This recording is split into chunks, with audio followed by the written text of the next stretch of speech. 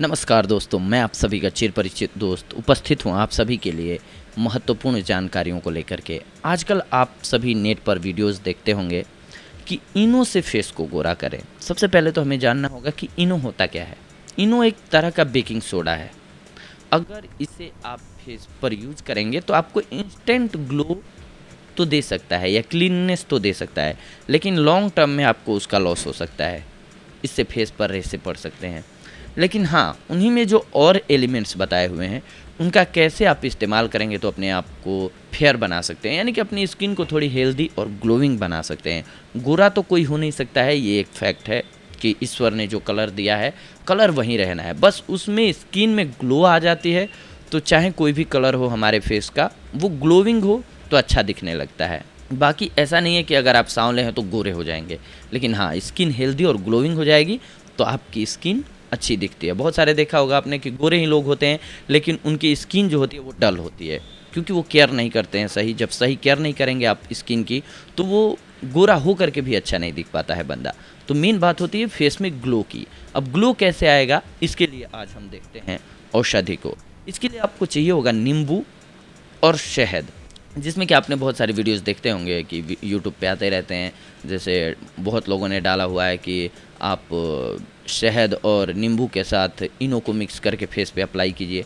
इससे क्या होगा कि आपको तुरंत लाभ तो होगा, लेकिन लॉन्ग टर्म में आपको लॉस होगा, क्योंकि बेकिंग सोडा जो है, वो सेल्स को तोड़ता है। कैल्शियम के बॉन्ड को तोड़ता है वो। तो इसीलिए उसको बेकिंग सोडा को कभी भी फेस पे अप्लाई नहीं करना चाहिए। आप शहद और नींबू को अप्लाई कीजिए। आपको टाइम लगेगा। फेस में ग्लो आने में टाइम लगेगा। वो क्या होता है कि इंस्टेंटली आपके फेस पे जाता है तो सोडा क्या करता है? कपड़ों में से मैल को तुरंत निकाल देता है। तो वैसे ही आपके फेस में जो भी डस्ट होगी, जो भी एलिमेंट्स होंगे, उनको वो तुरंत खींच करके बाहर निकाल देता है, जिसकी वजह से आपको क्लीननेस दिखने लगती है। लेकिन अगर आप बेकिंग सोडा को छोड़ करके और केवल नींबू का और शहद का प्रयोग करते हैं अपने फेस पर और भाप लेते हैं, यानी कि स्टीम लेते हैं फेस पे। आप देखेंगे कि कुछ एक दिनों में आपकी स्किन हेल्दी और ग्लोइंग होती जाएगी। क्योंकि हम बाहर जाते हैं, क्यों ज़रूरी है ये? क्योंकि जब भी हम बाहर जाते हैं तो धूल, मिट्टी, कण इतनी हमारे फेस पे पड़ते हैं पोल्यूशन की वजह से। हमारी स्किन जो है, वो डैमेज हो जाती है। तो उसको प्रोटेक्ट करने के लिए ये चीज़ें ज़रूरी होती हैं कि आप इसकी बाह्यतम सुरक्षा का ख्याल रखें। इंटरनली भी करना होगा। अब मान लीजिए कि हमारी प्रॉब्लम जो है वो खाने पीने की वजह से, हम बहुत ज़्यादा पिज़्ज़ा बर्गर ये खाना लेट नाइट तक जगना कर रहे हैं, इसकी वजह से हमारी स्किन डल हुई है। और हम बाहर से चाहे कुछ भी लगा लें, शहद लगा लें, कितना भी नींबू लगा लें, कोई फ़ायदा नहीं होने का। आपको सबसे पहले अपनी प्रॉब्लम को समझना होगा कि आपकी स्किन की प्रॉब्लम है क्या?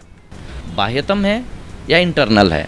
अगर इंटरनल है तो उसको खान पान से ठीक किया जा सकता है। अगर बाहरी पोल्यूशन की वजह से है तो आपको ये बाहर से शहद और नींबू का घोल, यानी कि मिश्रण आपको लगा लेना चाहिए फेस पे। इससे क्या होगा, नींबू जो है, उसमें सिट्रिक एसिड होता है। ये फेस पर जितने भी डेड सेल्स होते हैं, गंदगी होती है डस्ट होती है, उसको हटा देता है। और शहद जो है मॉइस्चराइज़र का रूप में काम करता है और ग्लोनेस लाता है फेस पर। पोषक तत्व देता है स्किन को, जिससे कि स्किन हेल्दी और ग्लोइंग होती है। क्योंकि जब सफ़ाई हो जाएगी तो फेस को मॉइस्चराइजिंग भी चाहिए होता है। तो इसलिए ये बेस्ट तरीका है। आपको थोड़ा लंबा टाइम लगेगा इसमें, क्योंकि कोई भी देशी औषधि जो होती है, वो अपना वर्क करने में टाइम लेती है। लेकिन आप अगर लगातार करते हैं, निरंतरता रखते हैं तो आपकी स्किन हेल्दी और ग्लोइंग हो जाएगी। बस इसका ख्याल रखना चाहिए कि बहुत ज़्यादा गोरा होने के चक्कर में अपने फेस पर कोई भी चीज़ अप्लाई नहीं कर लेना चाहिए। तो ये थी आज की हमारी जानकारी आप सभी के लिए। अगली बार हम आप सभी से जुड़ेंगे कुछ एक और महत्वपूर्ण जानकारियों को लेकर के। तब तक के लिए धन्यवाद। नमस्कार दोस्तों।